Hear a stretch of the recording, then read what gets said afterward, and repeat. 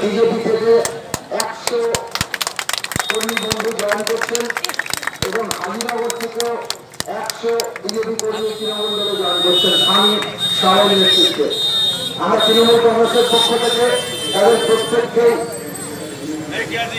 স্বামী শাহ হাজিনগরের যুব তৃণমূলের সভাপতি।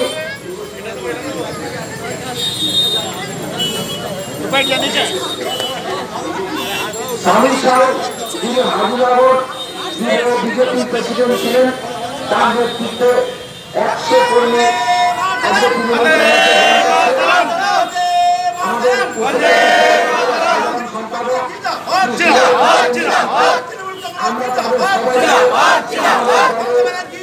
जिंदाबाद जिंदाबाद जिंदाबाद